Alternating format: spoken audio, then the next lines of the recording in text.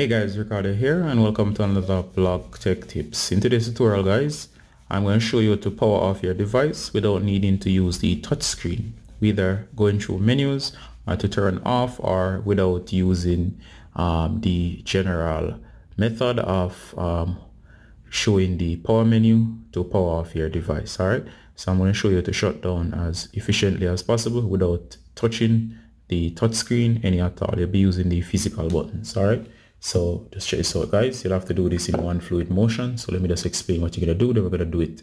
You're going to hit volume up. Next you're going to do volume down. You're going to press and hold the power button. Alright, so you're basically going to do that. And once you do, what should happen is that your device should uh, power off by itself. So let's do it. One swift motion. So let's go. Um, volume up, volume down, press and hold the power button. So keep holding the power button and as you can see here guys i'm just holding the power button so it was up down hold power. All right so um, of course as soon as the display goes blank you can let go. Notice i've turned off and i didn't touch the screen. And because i was holding the power button for extended period of course the device starts up again. And notice i didn't touch the screen any at all.